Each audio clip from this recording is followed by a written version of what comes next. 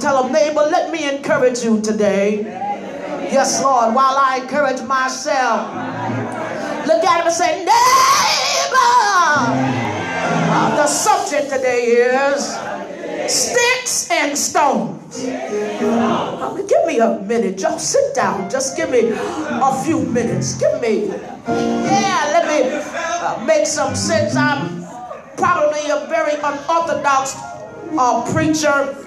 Uh, uh, uh, sort of sometimes peculiar. Some people may think as strange. But I, I, I, I thought about uh, I thought about it as soon as Apostle uh, contacted me and we had a, a, a conversation and um, I had an opportunity to kind of see uh, where his view was, his focus.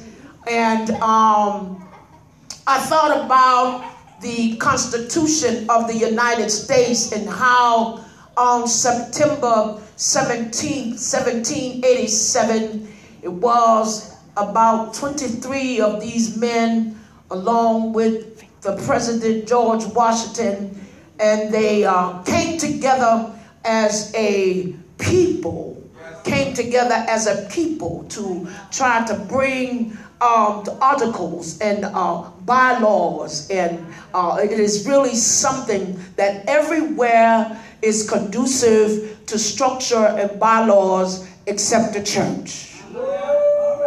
Um, uh, but you realize that whenever you have more than two people, you got to have some kind of bylaw. That's right. You know what I'm saying? But, but if, if, there, if there are more if there are more than two people, then there ought to be some kind of order or some kind of order that would bring a perfect union. See, That's because right. we, we worship together, but we don't have no perfection in our union. We we, you know, we sing and we dance together, but but we don't necessarily like each other. We don't really, you know, get along. We do well while we're while we're in church to sort of tolerate each other. But the truth of the matter is most most people outside of church don't don't really have no dealings, not only dealings, but they don't really even care about the next individual, which is so much against who God is and so much against who Christ is. And so I'm thinking, if we the people as a body of Christ, then there ought to be something ignited on the inside of us that goes outside of church. If the only time you speak to me is when we're in church and other times you're talking about me, I think that that should be a reason uh, for us to at least have a conversation. Jesus. People disagree but dance together. Jesus. People disagree but but but but, but they speak in tongues. Jesus. And so is it just me or are we fabricated, two-faced and backstabbing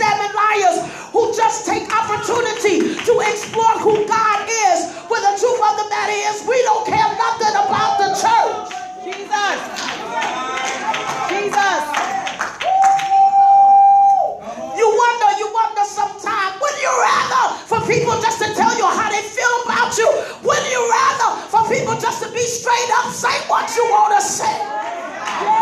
Look at somebody say, go ahead and free yourself. If you if you don't want me, then don't talk to me.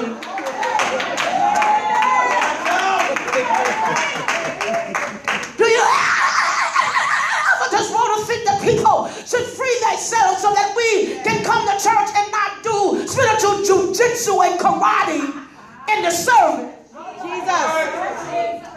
I'm saying, can we just come together and have church? Well, I got to fight through all the spirits.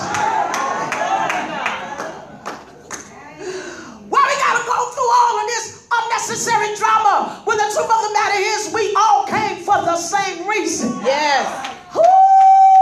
Services, church ought to be a no drama zone. That's right. This ain't the place to bring your drama. This is where I come for my deliverance Somebody talk to me here. I ain't got time for no foolishness and no game.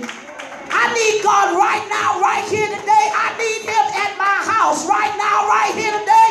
I need Him in my family right now, right here today. I ain't got time for the rest of this junk. Jesus.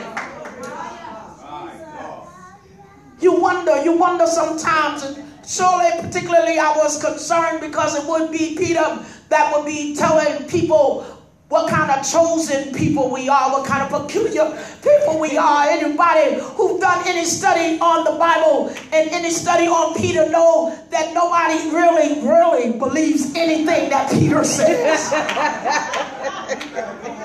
you know, Peter is the character who speaks out of both sides of, of his mouth. Whoever has the upper hand, then that's who Peter will kind of go with it. So you got to be particularly careful when you build in ministry because some people are with you, but they ain't really for you. They with you, they're with you now, now, now, now. They're faithful, they're faithful, they're there every service. You can depend on them, but they're not fruitful.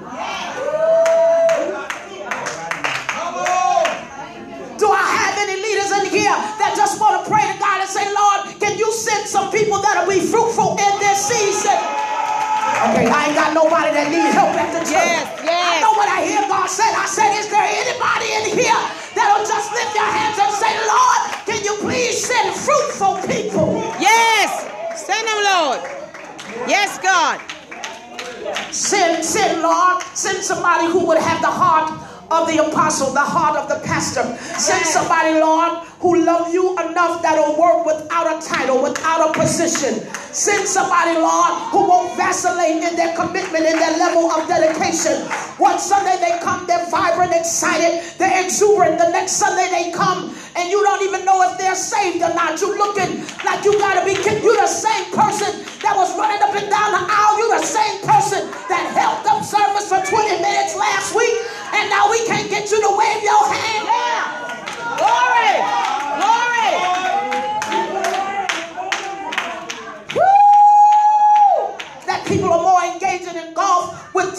Positions. And so, is it our fault that we're guilty that we make people stuff that they will never have the ability to fulfill because we're trying to keep them encouraged? Can I tell you, we're doing damage to the kingdom. And we need to stop making people stuff because they are faithful. That's right.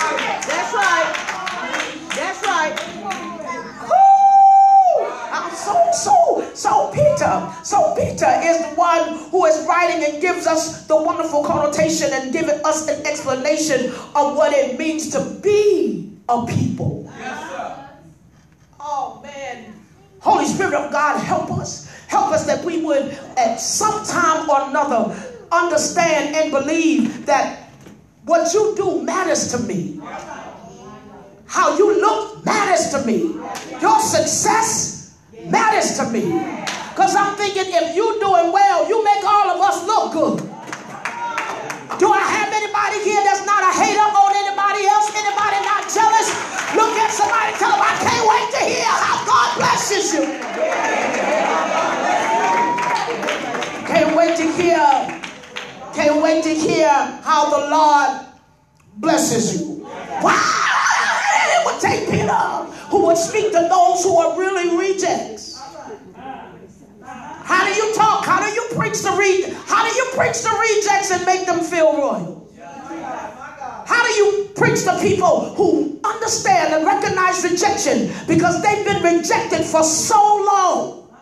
These people that Peter then describes in our text, it's not a people that have a church. They don't have a church because the temple was destroyed.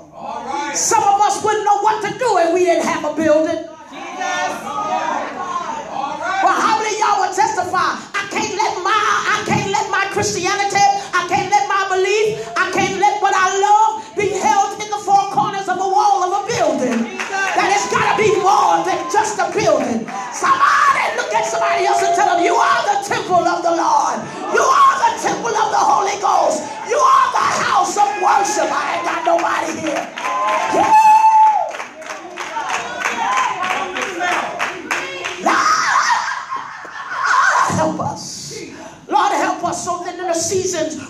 just sticks, we'll make it.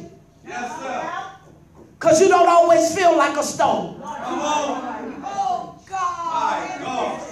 We particularly lie in church because it sounds so good in our wonderful testimonies when we talk about how much victory we have. When the truth of the matter is, some of us ain't had a victory in a long time.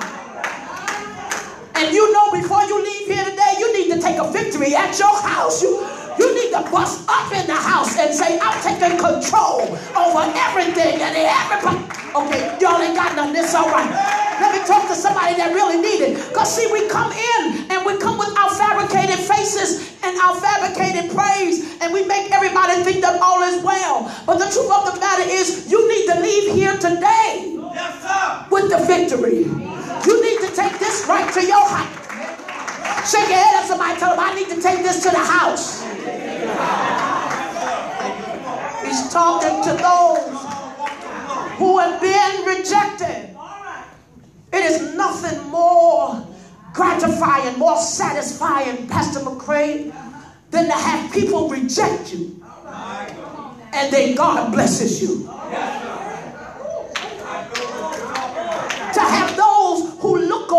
As if you will never ever attain anything. They never have an expectation that you'll be great. They never, never meant for it to happen to you, even though these are the same people that prophesied to your life that God was going to bless you. And then as soon as God starts to bless you, it is these people that have the audacity to question why God did what he did.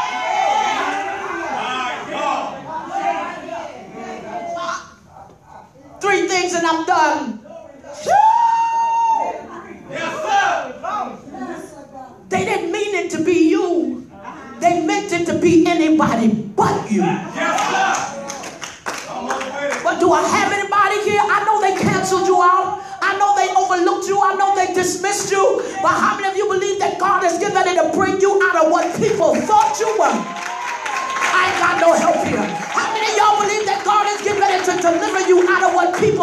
You were? What they said about you, what they thought about you. I wish I had somebody in here that'll lift your hand. You go, and wow, your hands are lifted.